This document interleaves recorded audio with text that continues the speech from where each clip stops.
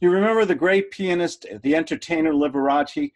Somebody once asked him, How do you deal with all these people saying these things about you? Because he was an original. He was a, a great, entertaining piano player, if you ever saw him in Las Vegas. And somebody asked him, How do you deal with all the criticism and stuff about your flamboyant style? And he gave one of the best answers ever given in the history of business. He said, I'm crying all the way to the bank. The beautiful thing about this is, are you doing it your way? Are you, are you doing it your style?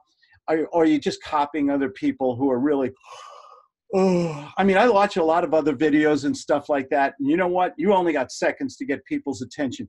Be a little different, be original. Okay, be yourself. You don't have to be Claude. You don't have to be Anthony Robbins or Dan Lok or anybody else. Just be yourself. It's good enough. God gave you all the gifts and the tools you'll ever need. You just have to go out there and give people unbelievable value. Give them good information, especially in social media. So many people, oh God, they put you there. Cure for insomnia when you put out social media, make sure it's informative, it's compelling, it's attractive, and it's original. Be yourself.